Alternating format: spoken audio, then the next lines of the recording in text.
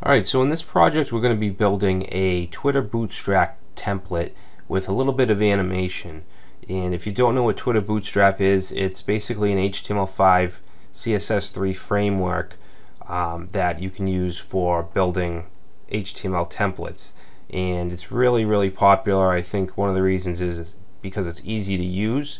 Uh, if you go to the Bootstrap site, you, there's all kinds of code snippets that you can just plug in and it'll it'll style things, buttons, blocks.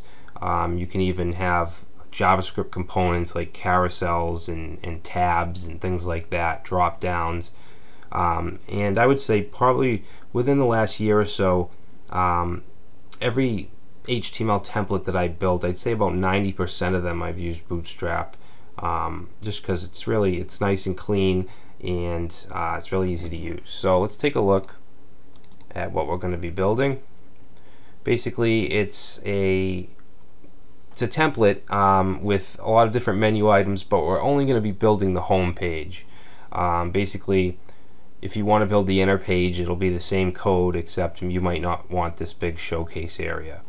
Um, so basically, if, if you saw that, if I reload, you can see that that image comes and slides into place. Um, now I called this template scroll place because what we're going to do is have a little animation that goes off when we scroll down to it. Alright, so if I go ahead and scroll down, you can see that this image is actually three images. We have the monitor, and then we have the laptop, and then the tablet and mobile phone are, that's all one image. Alright, so we're having both of these on the side slide in when we scroll down. Alright, so if you can see. And I also have it so if you scroll up, back up, that it goes back into place so you can keep watching it.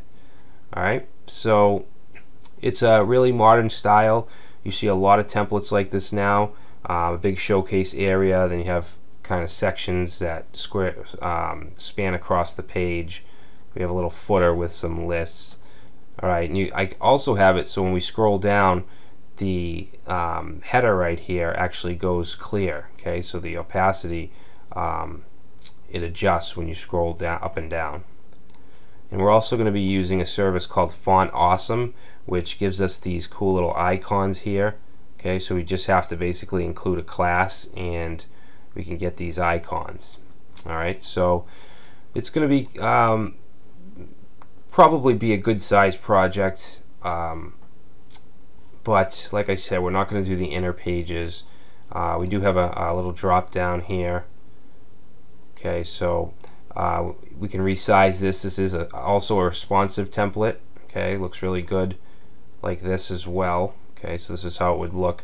Now, what I did here, I actually have it so when you're viewing it on a mobile phone, we're not going to have that animation just because it's a really small screen and the positioning can get all messed up and not look very good. Um, but you can see if we go back up to a tablet size, then we have that functionality back.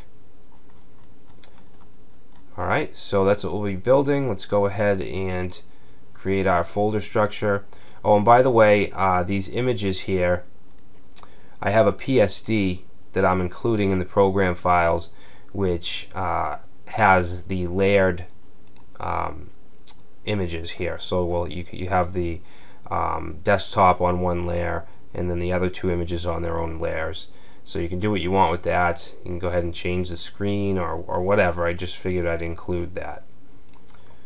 Okay, so let's go ahead and create a folder. And let's call this, I'm just going to call it BS template. Alright, so we'll create an index file.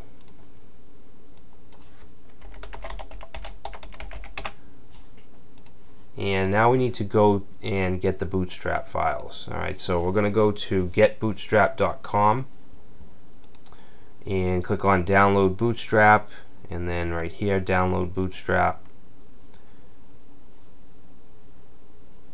Uh, what the, I don't want that. So open up the zip file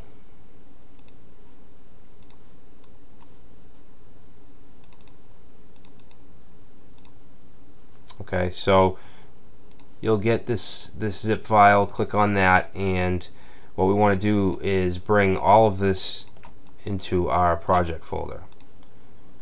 Alright so first let's go ahead and look at the CSS folder. Basically all we need here is bootstrap.css okay we're not using any of the themes or anything like that.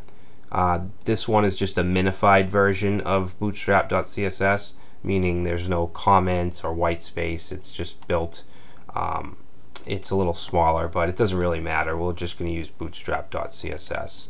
So go ahead and delete the rest of those. And then in the JavaScript folder, you have the minified and regular version. I'm just going to delete the minified version. And this will allow us to have our drop downs and also our responsive menu. Fonts, uh, these are actually icons that you can use that's included with Bootstrap but we're going to use um, something called Font Awesome, which I'm going to go to now and get. So I believe it's font dash awesome. Sorry about that. And this is the website. All right, so what we want to do is click download and we'll open that zip file. Now on their website, if you click on icons right here, it shows you all of the icons that are available and there's just a ton of them alright so basically if I click on one of these it's going to give us the class it's going to give us the code to put to get the icon. Basically what we're doing here is using an i tag and adding a class of two classes. One is FA you always want to include that and then the actual name of the icon in this case it's FA refresh okay so that's going to give us this icon. And to change the size, if I just open up Chrome Tools and I click on one of these bigger ones, you can see it has the FA, the FA refresh, and then FA-5, which is a, it specifies a certain size. Okay, so you can actually change the size of the icons. Okay, so that's all we need to do. We just need to include our um, the files here. So what we want to do is in our fonts folder, we want to open up the font awesome fonts folder and then bring these over. Okay, we also want the CSS. Okay, so we're going to bring in fontawesome.css. Okay, you don't have to worry about the less or the SCSS. Okay, so that's all we need to do. Now we just need to um, link everything in our HTML file. So let's open that up. Now what I usually do with Bootstrap is I'll go to um, their website and click on examples.